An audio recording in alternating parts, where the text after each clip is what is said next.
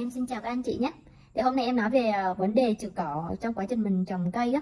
Thì ờ, có hai cái, thời điểm mình nên sử thuốc trừ cỏ đấy là tiền nảy mầm và hậu nảy mầm. À, tiền nảy mầm là sao ha?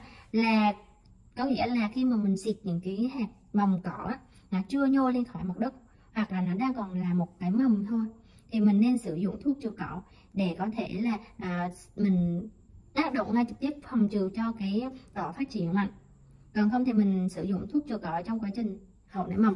Thì à, là cái tác dụng của thuốc trừ cỏ hậu nảy mầm đấy là, là không cho cỏ lớn cạnh tranh và lấy chất dinh dưỡng của cây trồng. Thì thuốc hậu nảy mầm này thì sử dụng ngay khi cỏ đã mọc từ 1 tới hai lá còn một số lá thì đã mọc. Thì hiện nay là em có cái loại thuốc trừ cỏ chung 5 IC thì loại thuốc này dành cho thời điểm hậu nảy mầm là khi lá của mình có từ 2 cho tới 5 lá thì mình nên xịt cái cỏ đấy đi thì um, khi mà phun á, thì mình cần phải làm cho đều thân lá. Phun ướt cái đều thân lá cây và đất phải đủ ẩm thì diệt sẽ hiệu quả hơn. Thì thuốc của em á đặc trị các cái loại cỏ giống như là cỏ lát này rồi cỏ thai lai này và các cái loại cỏ dại hại cái trồng khác.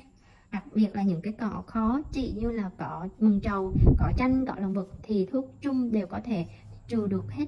Nên là các bác cần hỗ trợ trừ có trong giai đoạn nào thì cứ liên hệ em em sẽ tư vấn cho các bác miễn phí nhé.